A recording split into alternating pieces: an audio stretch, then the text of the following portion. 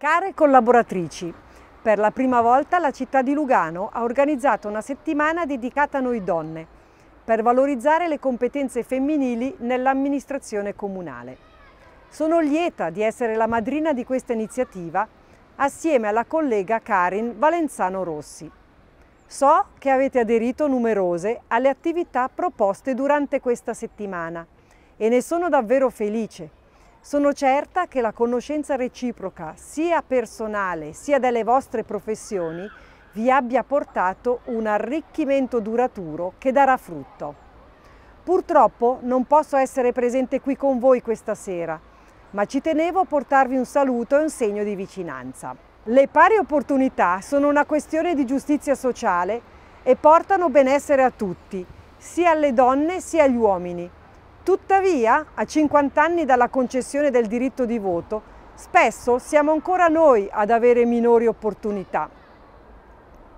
Il municipio mi ha delegata nel 2016 a firmare la Carta federale della parità negli enti pubblici e la nostra amministrazione si è subito attivata per verificare la situazione salariale. Dall'analisi è risultata una situazione ben migliore di quanto si trova nell'economia privata ma resta ancora da migliorare la distribuzione nelle diverse classi salariali. Su questo dovremo ancora lavorare. Vi sto parlando dalla nuova mensa delle scuole di Viganello. Il cantiere è appena finito e stiamo consegnando gli spazi alle scuole. Ho deciso di scegliere questo posto per due motivi.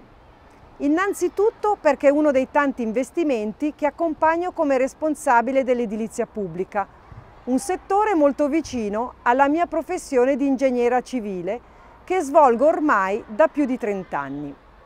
Molti pensano ancora che sia un lavoro da maschi, perciò da sempre sensibilizzo le ragazze a scegliere le professioni tecniche. Noi donne non possiamo essere assenti dove si progetta il futuro dell'ambiente e del territorio.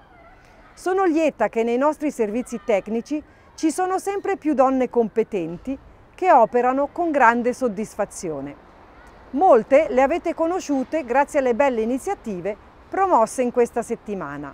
Sono qui anche perché questo luogo è stato voluto fortemente dalle consigliere comunali di tutti i partiti che nel 2004 hanno chiesto con una mozione la creazione di mense dopo scuola. Si tratta infatti di un tassello indispensabile per permettere alle donne di restare attive professionalmente anche al momento della formazione di una famiglia. È un gesto di politica sociale che ha fortunatamente trovato adesione anche presso gli uomini e come municipale sono felice di aver potuto contribuire a concretizzare questa richiesta. Nuove persone inizieranno a lavorare qui e diventeranno vostre colleghe, care collaboratrici, e mi auguro che insieme creeremo un gruppo sempre più consapevole e coeso. Per quanto mi riguarda spero di poter ulteriormente aiutare a migliorare la qualità di vita per la cittadinanza e a darvi buone condizioni di lavoro, rispettando le pari opportunità fra donna e uomo e non solo, anche fra generazioni e provenienza sociale. Ringrazio ognuna di voi per il contributo che portate allo sviluppo della nostra città e vi auguro una bellissima serata.